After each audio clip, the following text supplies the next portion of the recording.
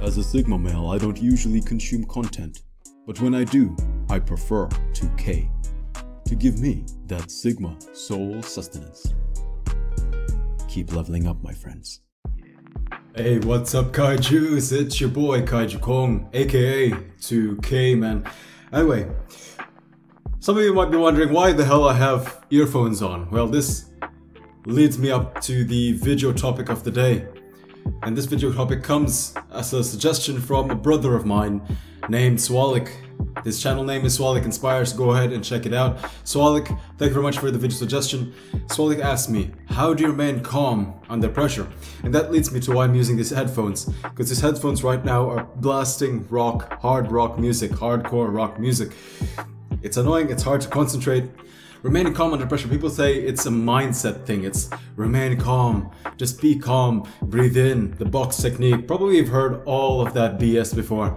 Frankly, for me, it doesn't work. And sometimes when you're in that moment of pressure, when you're in that situation itself, it's hard to actually remember all of those tips that you learned. Thing is, for me, it's good that you asked this question to me, Swalik, and I don't know why I didn't come up with this video topic before, because if you'd ask those who know me personally, my goodness, this music, if you ask those who know me personally, they would tell you that perhaps I am one of the most calm people that they've met, especially when they put me in situations where they are very high pressure situations, at work, in life, anywhere. I'm the one who does not lose his cool. Now, how did I do that? Even I was astonished and I realized like, hey, yeah, everyone else is losing their heads, so why am I the only one who's calm? Well, when I thought about it and I compared my life to theirs, I realized the reason why I can remain calm is because I have went through a lot of situations in life. I was about to say shit.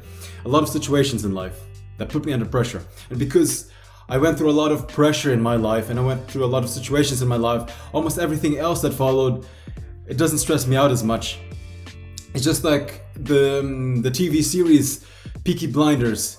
You know Thomas Shelby. Tommy Shelby, my goodness, his music. Thomas Shelby. He seems so calm. Why is he so calm? Because he went through a lot of shit in his life. He went through constant heartbreaks. He went through the war. He went through having to go through different situations that got him to the top of the gangster world. And that's why he remains so calm. He does not flinch. His face is always the same. Same thing with my life, guys. How many of my friends and how many of other guys can tell can tell other people that they went through the experiences that I did, like let's say almost getting stranded in a foreign country. In my case, that was Laos. I had to. Uh, I lived in Thailand for a time, for around six months, and in order to get the visa to re renew my visa in Thailand, which is stupid enough, I had to go over to Laos, the Thai embassy in Laos, to renew my visa and then jump back to Thailand. And crossing that border was uh, kind of tight in terms of the hours. And I was almost stranded because of the stupid transportation network. I was almost stranded in Laos, not able to come back to Thailand because of the transport network. And I didn't have any money, I was broke at that time. But nevertheless, I remained cool. I had to jump out of the bus windows and all that. That's anyway, that's a story for another. That's a story for another video topic, guys.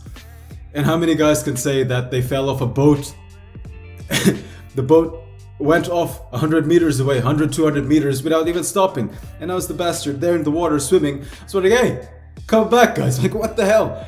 And those waters were shark infested. Thing is, I told myself not to lose my cool. Because if I lose my cool, it's just, it's you die. Thing is, sharks, they sense that there's movement in the water, but if you remain calm and you just swim. Luckily enough, I was a um, competitive swimmer at the time, so even that, you know, in my life, there are two reasons, two ways to remain calm, two things preparation and mitigation. Preparation is what you do in advance for those situations that you think will give you pressure, and mitigation is what you do during those stressful situations. In preparation, it is true that the more you sweat in times of peace, the less you bleed in times of war.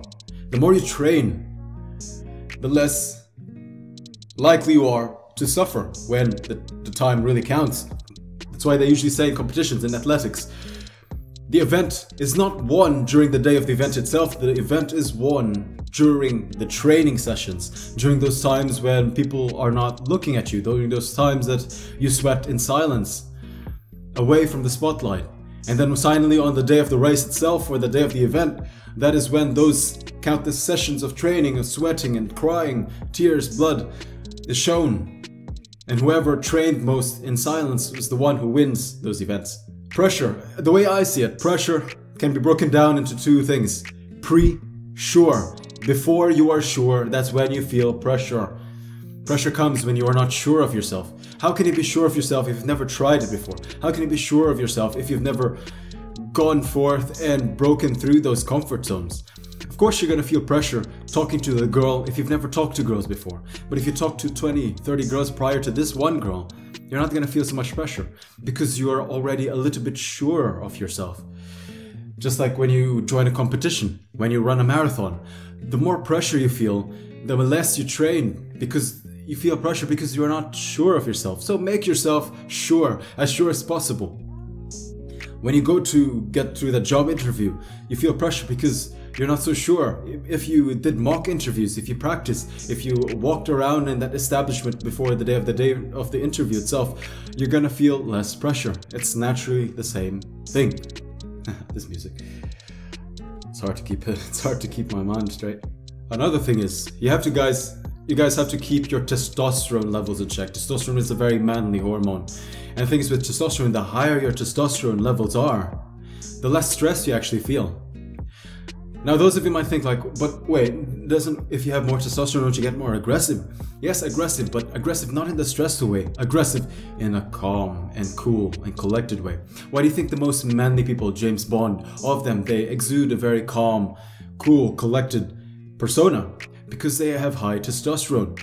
Keep in mind, guys, look at those guys who are older. The older you get, the less your testosterone levels are. And the older men, how come they're so cranky? How come they're so grumpy? How come they're so pessimistic? It's because their testosterone levels are lower. Lower testosterone levels, the higher your stress levels are. It's the same thing. So keep your testosterone levels in check, guys. Make sure you sleep uh, optimal levels. Some guys want eight hours, some guys want six hours, some guys even less, or some guys want more.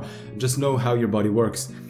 Make sure your nutrition is on point. Make sure you get all the key vitamins down, the key minerals, zinc, vitamin D. Make sure you get plenty of sun. Make sure you are consuming plenty of fats, cholesterol. Cholesterol is a good thing for men because cholesterol is a building block for testosterone, guys. Keep that in mind. And make sure you exercise as well. Not only your upper body, make sure you exercise also your lower body because when you exercise your legs, it gives you a boost in natural testosterone that exercise in the upper body cannot. And also incorporate HIIT training, fast twitch fibers. Don't go too much for the long distance. Long distance is good, but keep their balance.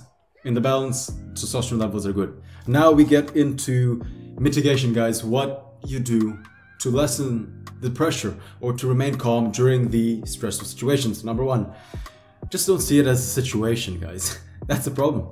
See the situation as an opportunity, as a way for you to evolve, a way to grow. See it as an opportunity, see it as a challenge, not a situation. And just then you will shift your mindset. Also, know that these things, whether positive or negative, all these things in life, they have not come to stay, they have come to pass, they are temporary, not permanent.